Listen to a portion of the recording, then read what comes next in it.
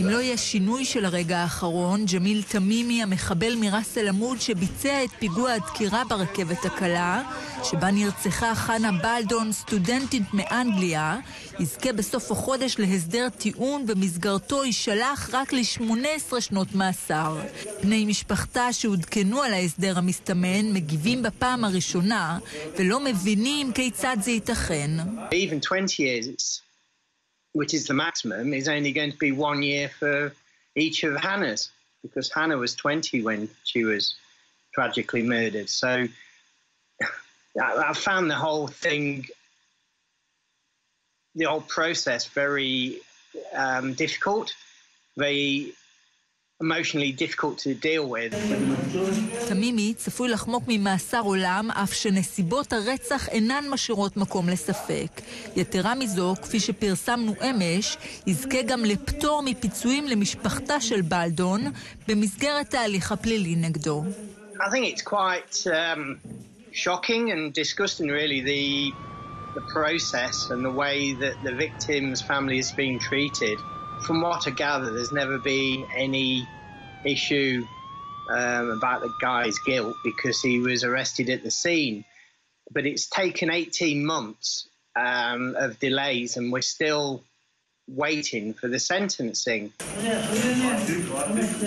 פורום בוחרים בחיים של המשפחות השכולות פנה בעקבות הפרסום במכתב בהול לפרקליט המדינה, בדרישה שלא יאפשר את קיום ההסדר המקל הזה. אם הוא משוגע, למה הוא לא רוצח מישהו מהאזור שלו, מהקרבה, מהמשפחה שלו, מהשכנים שלו? תמיד איכשהו הוא רוצח יהודים. איך המשוגעים האלה יודעים לזהות כל כך טוב שזה יהודים? למה הם לא רוצחים אף פעם מישהו קרוב אליהם? אני חושב שצריך להתנגד בכל תוקף לעסקות טיעון עם מה שנקרא משוגעים, מפני שאנחנו מכירים את זה כפרקטיקה שצומחת ועולה, שהיא מלווה את פעולות הטרור. מחבלים בדרך, בהכשרתם אל, גם עוברים במסלול בית משוגעים או שקונים כדורים, זה לא פעם הראשונה. תמימי שוחרר מהמרכז לבריאות הנפש בירושלים זמן קצר לפני שרצח להוסטל, זאת למרות דוחות שהצביעו על התגברות ההתנהגות האלימה מצידו. זאת ככל הנראה הסיבה שהובילה את הפרקליטות להסדר השנוי במחלוקת, אף שנקבע כי הוא כשיר לעמוד לדין.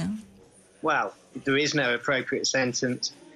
Um, because for me, Uh, he could get a 100 year sentence, it won't matter because it won't bring Hannah back. But I really think that um, a low sentence is um, uh, a disgrace and it, it, it's an insult for Hannah.